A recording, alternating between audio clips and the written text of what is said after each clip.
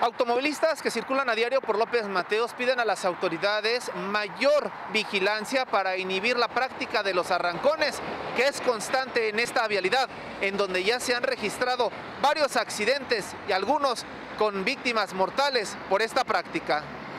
Debería de haber más presencia vial, de agentes viales, este, de, una manera, de esa manera disuadir eh, la situación de que anden pues borrachitos, anden chavos corriendo con sus carros, etcétera.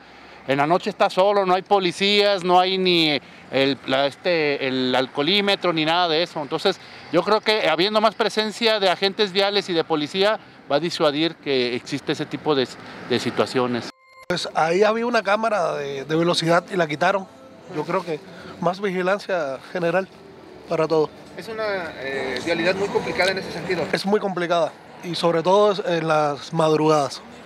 Es muy, muy, los fines de semana.